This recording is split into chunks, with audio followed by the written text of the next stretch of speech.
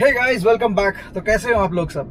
सो so, आज हम लोग बात करने वाले हैं सेकेंड हैंड कार्स के बारे में। तो अभी जो है मैं जा रहा हूँ आदि के घर और आदि के घर से हम लोग जा रहे हैं एक डीलर के पास। सो बेसिकली प्लान ये है कि Adi is planning to pick up a second hand Grand Vitara जी हाँ दोस्तों ग्रैंड विटारा एक बहुत ही अच्छी गाड़ी है बहुत केपेबल ऑफ़ रोडर भी है।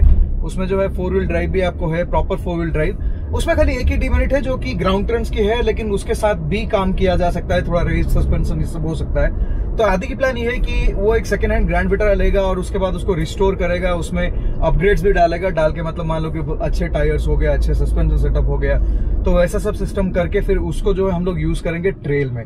सो ये हो जाएगा आदि की गाड़ी। आदि की परचेस से मुझे भी थोड़ा एक्सपीरियंस आ जाएगा कि ग्रैंड विटारा कैसा है एंड ऑल्सो सेकेंड हैंड गाड़ियों के बारे में भी थोड़ा इन्फॉर्मेशन मिल जाएगा। तो अब बात है कि ये वीडियो में हम लोग डिस्कस करेंगे कि अगर आप लोग एक यूज़ कार खरीदने वाले हैं तो आपको क्या क्या चीज़ें ध्यान रखना पड़ेगा। before you buy a used car. I'm in Buluva's video because I am passenger, he is driving. Yes. So today we are like starting today. We have been thinking about this for a long time, but yeah, starting today. We are embarking on a different kind of journey. We have the big bikes now. Now the itch is there. Khujli always is there. That to, Khujli will always, always be there. so the Khujli is there to, you know, buy off-road car. So. Yeah today, uh, so we don't know whether we'll buy this car or not. Right. But uh, stay tuned. This is a one of most amazing and capable off-roaders that is available in India. It's out of production. It's not a Gypsy. It's not a Thar. It's out of production. So we're going to check this car out and uh, we'll give you a test drive and review of that.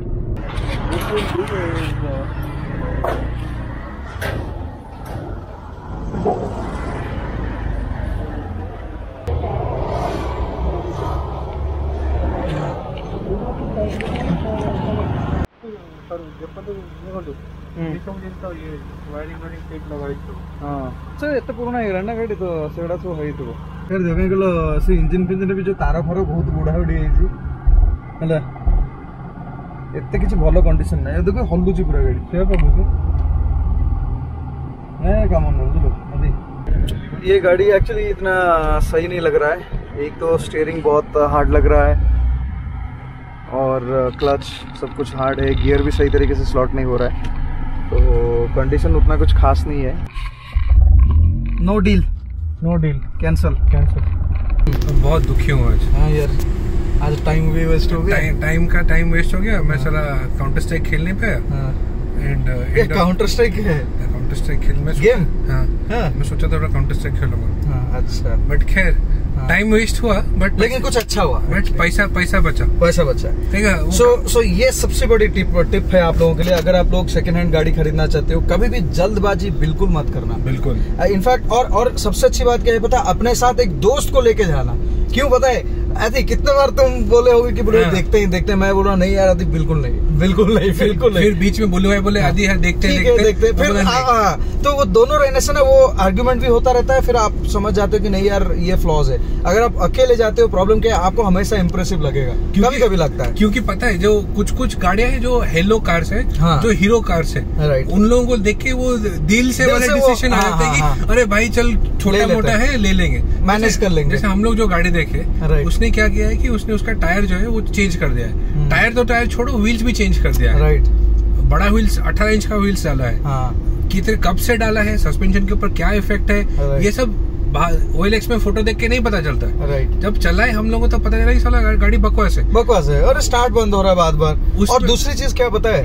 हमेशा आप जब गाड़ी लेते हो तो ये बहुत matter करता है कि ओनर कौन है और वो कैसे मेंटेन करता है। अगर ओनर को गाड़ी के साथ अटैचमेंट नहीं है तो आपको लेना नहीं चाहिए। उसका मतलब ये है वो क्या करेगा हमेशा जुगाड़ू काम करता रहेगा। एग्जैक्टली इतने सारे तार कटे हुए थे। हाँ एग्जैक्टली जहाँ छोटा मोटा कुछ तार कटा उसमें वो ये कर लेगा ब्लैक टेप लगा लगा लेकिन अगर ओनर अगर उसको कनेक्ट रहेगा ना वो हमेशा कोशिश करेगा कि इसको परमानेंटली फिक्स करते हैं। Yes. कोई जुगाड़ू काम नहीं करते हैं। देखो पहला चीज़ मुझे जो बुरा लगा कि हम लोग गए हैं वहाँ पे गाड़ी चेक करने के लिए।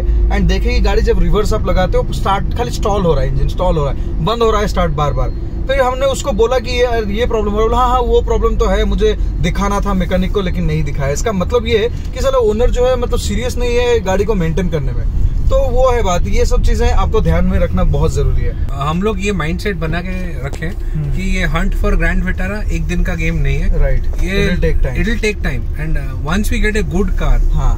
We will go and put a money into it because at the end of the day ये ऐसा गाड़ी है कि जो बहुत कम लोग चलाते हैं। राइट ज़्यादा डिमांड नहीं है मार्केट में। Right. और जिनको पता है हाँ, सिर्फ़ वही लोग वही लोग खरीदते हैं, और आजकल जो अच्छा अच्छा गाड़ी है छह लाख सात लाख में वो बेच रहे हैं। क्योंकि डिमांड है। हाँ, हाँ। डिमांड बहुत है। गाड़ियाँ ही नहीं है मार्केट में। सो अब हम लोग बात करते हैं कि एक छोटा सा चेकलिस्ट के बारे में कि जिसको आपको फॉलो करना है if at all you have plan to buy a second hand car so पहले सबसे जो शुरू करेंगे कि आपका पहले रिक्वायरमेंट को शॉर्टलिस्ट कीजिए। जैसे फॉर एग्ज़ाम्पल मैं जो है, अभी मेरे पास नेक्सॉन है it is use as a family car मतलब रेगुलर ऑफ़िस हो गया, घर हो गया, फिर थोड़ा थोड़ा हाईवे ये सब हो गया, उसके लिए बहुत अच्छी गाड़ी है। लेकिन अब जो मेरा रिक्वायरमेंट है, मैं सोच रहा हूँ कि एक फोर फोर बाई फोर गाड़ी कुछ खरीदूँगा, जिसमें मुझे कुछ ट्रेल ड्राइव करना है, कुछ पत्थर, वत्थर वत्थर मतलब ऑफ़ रोड्स करना है बेसिकली सो उसके लिए मुझे ढूंढना है। जैसे फॉर एग्जांपल मैं आपको बताता हूँ, जैसे मेरे मेरे कजिन है जो हरो है जिनके पास एक्सयूवी है तो उन्होंने जब वो गाड़ी लिया तो उनको ये सोचता कि यार सेवन सीटर है तो कभी भी फैमिली वाले आएँगे तो ईजी रहेगा। लेकिन दो साल में उनके घर में शायद एक बार रिलेटिव्स आए होंगे एंड उसी टाइम जो है सात सीट्स जो यूज़ होता है। बाकी हमेशा अगर देखोगे, पिछले पाँच साल में मे बी पाँच या छः बार या मैक्स टू मैक्स मतलब काउंटेबल सात आठ बार होगा। जिसमें वो यूज़ किए हैं सारे के सारे सीट बाकी हर टाइम पे जो है सीट ऊपर रहता है मतलब पीछे वाला और वो लगेज जैसा ही यूज़ होता है। तो इसका मतलब आपको एक सेवन सीटर लेना है कि नहीं, आप देखो कि आपका प्राइमरी रिक्वायरमेंट क्या है। अगर प्राइमरली सिटी में चलाते हो मोस्टली मतलब ऑफ़िस जाते हो, घर आते हो कभी कभी हाईवे ट्रिप्स करते हो, उस केस पे अगर आप दो दो लोग हो और एक किड है देन उस उस केस पे you don't need actually seven seater लेने के बाद आपको कोई फ़ायदा नहीं होगा तो एक्स्ट्रा पैसा पे करके कोई फ़ायदा नहीं। इसीलिए आपकी रिक्वायरमेंट को हमेशा ऐसे कैलकुलेट कीजिए कि आप सेवेंटी एटी परसेंट कहाँ पे चलाने वाले हो, उस हिसाब से आपको जो है गाड़ी खरीदना चाहिए। तो वो हो गया फ़र्स्ट पॉइंट सेकंड बात ये है कि जो भी आप गाड़ी खरीदो, आप ये देख लो कि आपके सिटी में जो है सर्विस सेंटर अवेलेबल रहना ज़रूरी है। जैसे ईसुजू फॉर एग्जांपल बहुत सारे सिटी में जो है सर्विस सेंटर्स नहीं है, जैसे भुवनेश्वर में नहीं है, ओडिशा में नहीं है मतलब स्टेट में। तो ये सब गाड़ियाँ लेने से प्रॉब्लम क्या होता है कि आपकी जो सर्विस के लिए आपको दिक्कत होगा, आपको कोई और सिटी को जाना पड़ेगा। दैट्स लिटिल पेनफुल इसके साथ ये भी ऐड कर दूँगा कि वैसे अब गाड़ियाँ मत खरीदो जिस, जो डिसकंटिन्यूड हो चुका है मतलब कंपनियाँ बंद हो चुका है। जैसे अब आज की डेट पे अगर सेवरल कार्स कार्स आप देखोगे तो थोड़ी सी आपको जो स्पेयर पार्ट मिलना डिफ़िकल्ट हो सकता है। ये सब अवॉइड करने से बेटर है, जो मार्केट में है वही गाड़ियाँ खरीदने से बेटर है। अनलेस आप रेडी हो कि वो रिस्क लेने के लिए आप पार्ट्स इंपोर्ट कर सकते हो या फिर कहीं ना कहीं से सोर्स कर सकते हो। अगर आप वो स्ट्रेस के लिए प्रिपेयर हो देन इट इज़ ओके जैसे मेरे दोस्त अभी Aadi he is thinking to buy the Grand Vitara तो अगर देखोगे ग्रैंड विटारा बहुत पहले से ही डिसकंटिन्यू हो चुका है, लेकिन he has got the source जहाँ से उसको लगता है कि सारे के सारे पार्ट्स मिल जाएगा। तो इसीलिए he is affording that risk modified cars को जनरली अवॉइड करो बेटर है। जितना ज़्यादा मॉडिफाइड होगा कार, उतना इम्पैक्ट आ सकता है परफॉर्मेंस में मतलब इंजन के लाइफ में भी आ सकता है। तो इसलिए जनरली मॉडिफाइड कार्स को अवॉइड करना बेटर है।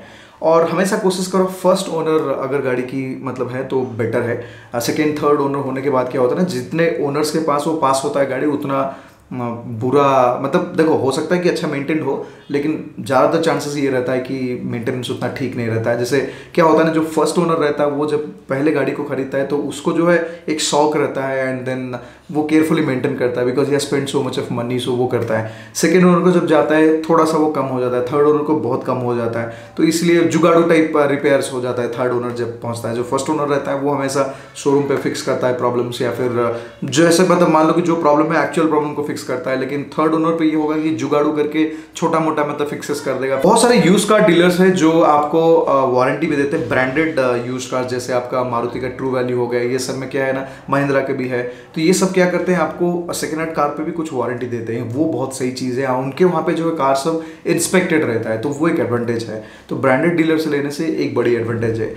इसके साथ ये ऐड करूँगा कि आप अगर कोई क्लोज रिलेटिव से या दोस्त से लेते हो, उसमें भी एडवांटेज है। एटलीस्ट अगर दोस्त बहुत करीब दोस्त है और रिलेटिव्स है तो उस केस पे क्या है, वो आपको एक ख़राब गाड़ी बेचेंगे नहीं एटलीस्ट वो बोल देंगे कि बेटा ये प्रॉब्लम है या वो प्रॉब्लम है, इसको तुझे फिक्स करना है, जो भी है। तो वो एक क्लैरिटी आपके पास रहेगा। हमेशा जैसे मैंने आपको बताया, कल जो हम लोग गाड़ी गए देखने के लिए, जैसे आदि और मैं दोनों गए थे तो हमेशा एक दोस्त के साथ जाना बहुत ज़रूरी है। उसमें जो आपको मैंने बताया कि मतलब थोड़ा सा ऊपर नीचे रहता है। आप हाँ बोलते हो, वो ना बोलता है बोलता है, नहीं यार। आपको थोड़ा पीछे से खींचना भी ज़रूरी है। आप, क्या है, आप कोई गाड़ी को पसंद करते हो, आप आगे चले जाते हो तो वो कोई ना कोई रहना चाहिए जो आपको पीछे खींचेगा। एंड मोस्ट इंपॉर्टेंट आप कभी भी डिसीज़न इमीडिएटली मत लो। गिव इट एनफ टाइम अगर बहुत जल्दी डिसीज़न इमीडिएटली ले जाए तो देखो, बहुत सारे डीलर्स आपको बोलेगा, अरे सर, बहुत इंक्वायरी आ रहा है, ये, वो, जो भी हो यार, गाड़ी चाहे आप नहीं लो। लेकिन जल्दबाजी में अगर आप पैसा दे दिए कमिट कर दिए, फिर उसके बाद प्रॉब्लम हो सकता है तो वो है बात।